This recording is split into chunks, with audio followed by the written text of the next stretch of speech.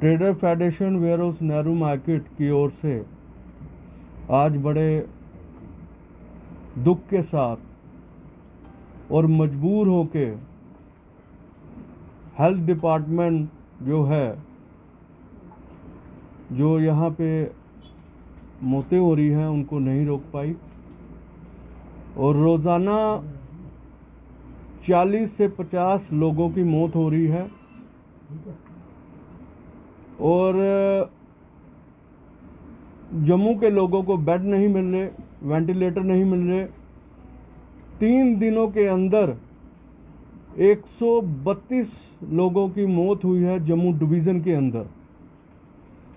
और GMC hospital में 40 लोगों की मौत हो रही है, बड़ा अनफॉर्चुनेट है। और हमारे हेल्थ डिपार्टमेंट के commissioner secretary Shri Atal Dulloo ji office में बैठ के सर्कुलर निकालते हैं कि सीनियर डॉक्टर वार्ड में जाके दौरा करें। मैं समझता हूँ ऐसे अफसरों को बर्खास्त करना चाहिए। आप चाहें तो नीचे हमारा वार रूम तैयार है।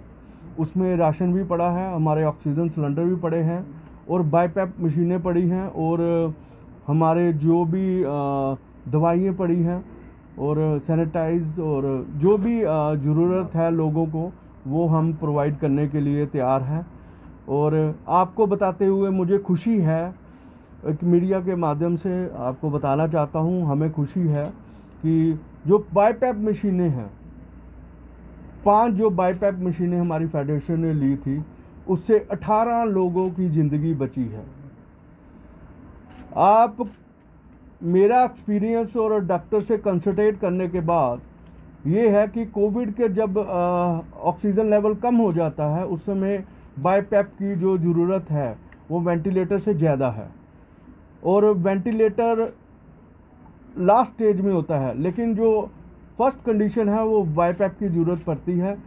और मुझे बताते हुए खुशी है कि मेरी जो फेडरेशन ने इतना अच्छा काम किया है और 18 लोगों की जानें बचाई हैं बाईपैप के द्वारा। और ऑक्सीजन सिलेंडर भी हमने प्रोवाइड किए हैं लोगों को घर तक। उन लोगों को भी बचाया जा जा चुका है। यही बस आज के लिए जो हमने ये बुलाया था। नीचे हमारा वार रूम तैयार है। आप वहाँ की जो है फ़ोटो ले सकते हैं। Thank you very much.